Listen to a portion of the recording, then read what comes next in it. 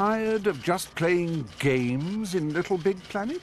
Fancy yourself as the next Quentin Sacantino or Sackley Kubrick? Of course you do.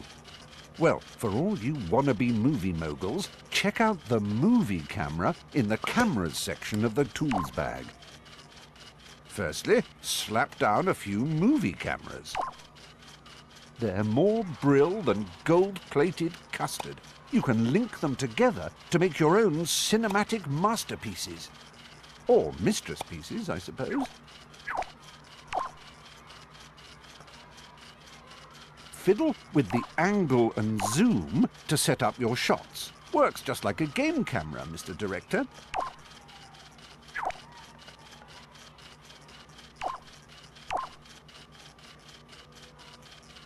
Have you got the angle right, the focus, the actor's reason for throwing a hissy fit? Then all you need is a platter of tiny cucumber sandwiches.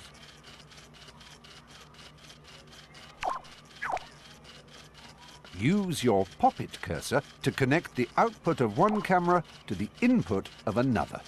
Just like a celluloid centipede. Cellupede? A centilloid? Oh, they sound great, don't they?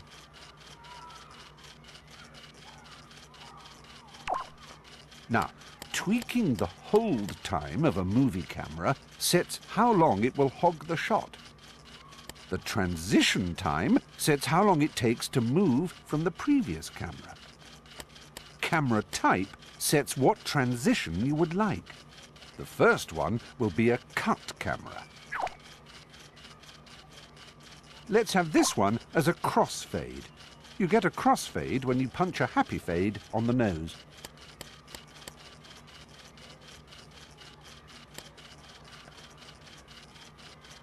To go quickly between linked movie cameras, press R1 to move to the next camera and preview the transition, or L1 to jump back to the previous one.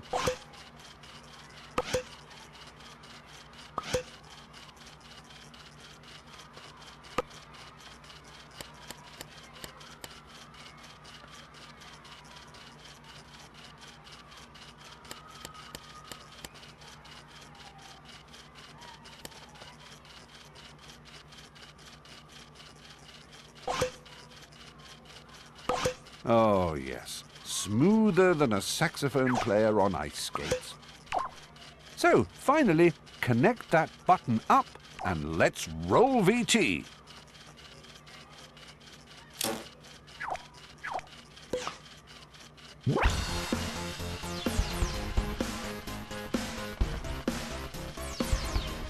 And action. You deserve some kind of golden statuette for that. It's just like being there.